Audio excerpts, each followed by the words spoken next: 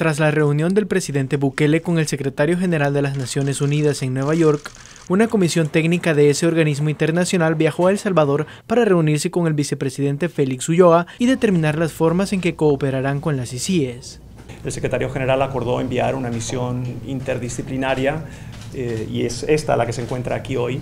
con, una membresía mixta de distintos aspectos del trabajo de Naciones Unidas. Tenemos a colegas del Programa de Naciones Unidas para el Desarrollo, de la Oficina de eh, Drogas eh, y Crimen de Naciones Unidas, de la Oficina del Alto Comisionado para los Derechos Humanos, de la Oficina de Asuntos Jurídicos de la Secretaría y también eh, mi colega y yo del Departamento de Asuntos Políticos y de Consolidación de la Paz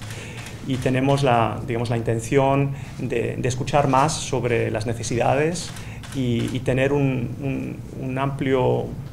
espectro de reuniones con distintos sectores para conocer mejor en qué se podría colaborar desde Naciones Unidas a los esfuerzos que están eh, emprendiendo en este terreno. Este es un informe de la.